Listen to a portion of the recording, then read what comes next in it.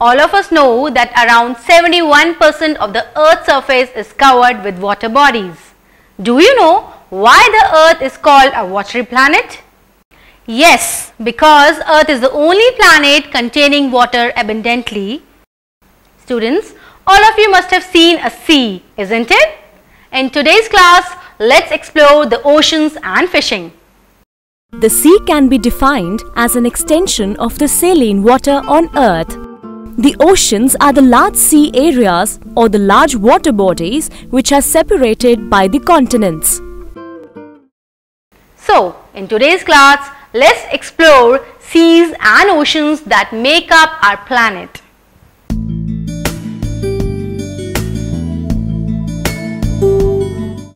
Students, have you ever wondered what lies beneath the surface of the water? What do you think the bottom surface of the ocean looks like? The floor of the ocean or the bottom of the ocean is mostly like the surface of the earth. Yes students, it is like the surface of the earth. The floor of the ocean is not a flat surface, but it consists of the various landforms like that of the earth's surface. It also contains various landforms like the hills, plateaus, plains, mountains, trenches, etc. Students, can you believe that trenches or the ditches in many of these oceans are so deep that they can even drown a huge mountains? Around 3 to 6 kilometers below the sea level is what constitutes the major part of the ocean floor. Students, as you all know, the waters in the oceans are never still. The waters in the oceans undergo various kinds of movements.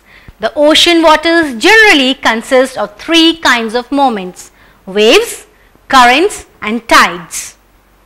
Now, let's have a look about the waves, currents and tides in detail.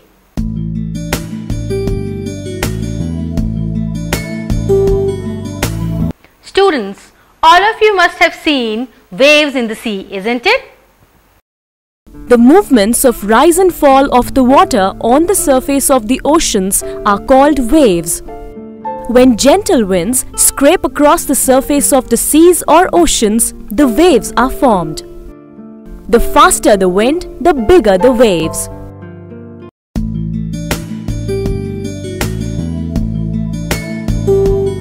Students, you must have also heard about the currents. The water in the oceans travels from one part to another in big streams which flow in a definite direction. The constant flows of the streams in a definite direction on the surface of the ocean are called currents. Can you guess how these currents are formed in the oceans? The prevailing winds, the differences in temperatures and salinity of the ocean waters are responsible for causing the ocean currents. These ocean currents are generally classified as two types, warm currents and cold currents. The ocean currents are classified on the basis of the directions that they flow. The cold currents flow from the poles towards the equatorial regions. The warm current flows from the equatorial regions towards the poles. You must have heard about low tides and high tides. Tides are one of the three kinds of the movements in the oceans. The rhythmic rise and fall of the ocean waters every day are called tides. When there is a high tide, the water comes up to the coast for some distance. When there is low tide, the water moves back from the coast. Many places on the coasts witness a few hours of low and high tides. Students, did you know that these tides are very helpful for fishing? Also, the tide sometimes takes away with them the mud deposited by the river and help to prevent silting.